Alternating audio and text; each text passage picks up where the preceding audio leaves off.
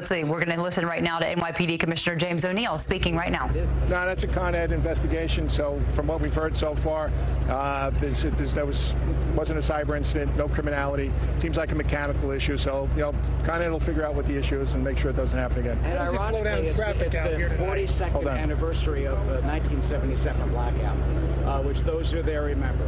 Looting, fires, lots of problems. What has changed in the city since that night? Very much like this, a hot night, and we don't have those problems at all. Well, a lot has changed. And remember 2003 also, there was a blackout in August of 2003.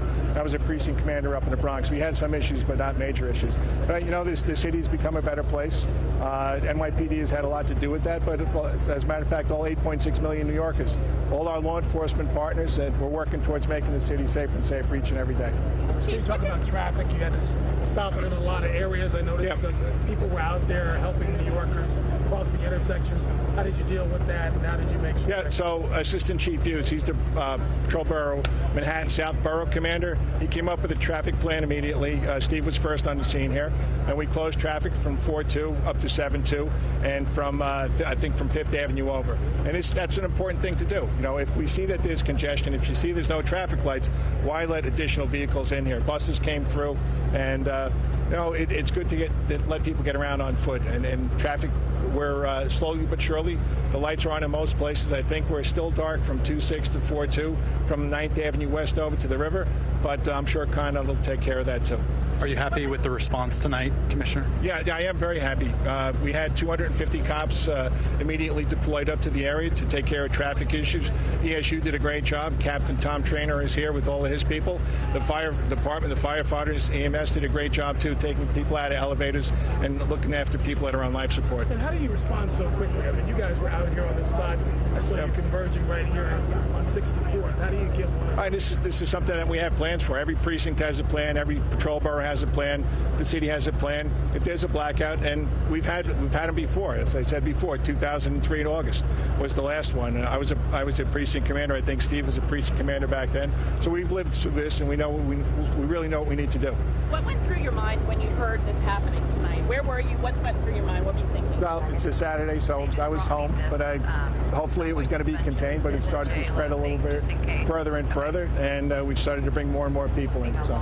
In terms of like a practice for New York's always on the top of every terrorism list, how does this feel um, response-wise? No, when it, when it first started happening, of course, that's what we looked at. And I was in contact with the New York office of the FBI. You know, they said it was not a cyber event. There was no criminality involved. So that I could that pushed tensions down a little bit. And it was up to Con Ed to figure out what the issue was and how we are going to get lights on as quickly as possible. Because it is, as you said, it's a hot night. I can see everybody sweating here. And in terms of everybody in their place, everybody getting what they needed to get done, responding quickly, do you feel good about that for when the? Yeah, no, I do. I, I feel really good about it. The way we collaborate with all of our uh, law enforcement partners, the way we collaborate with the fire department and EMS, it's it's relatively seamless. And we've had a, a number of major events over the last three or four years, and, and we get better and better at it. Have you spoken to the mayor or governor tonight about the Yeah, situation? I was. I've been in contact with the mayor, uh, keeping him up to date all along. John Miller and I and, and Chief Hughes have, have kept him uh, in the loop. He knows exactly what happened, and he knows the lights are back on. So he was uh, real proud of uh, the first responders in New York City tonight.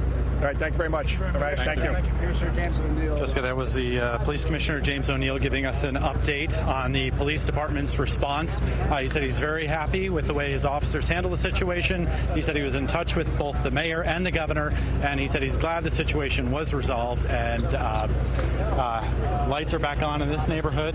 Uh, no word yet on whether the governor or the mayor are coming to the scene, but um, a lot of relief here on the Upper West Side after several hours of blackout tonight. We'll send it back to you in the studio.